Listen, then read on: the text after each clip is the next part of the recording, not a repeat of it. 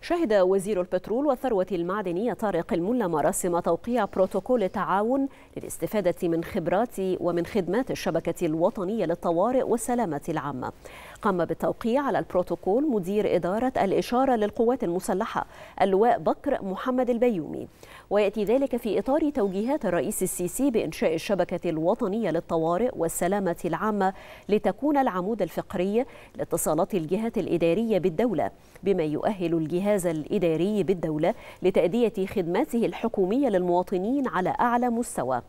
ويهدف هذا البروتوكول إلى تحديد أسلوب تجميع الاحتياجات الفنية من الشبكة الوطنية الموحدة للطوارئ والسلامة العامة والتي تعمل بتكنولوجيا اتصالات لاسلكية متطورة وتوفر الخدمات المتكاملة للاتصالات الحديثة.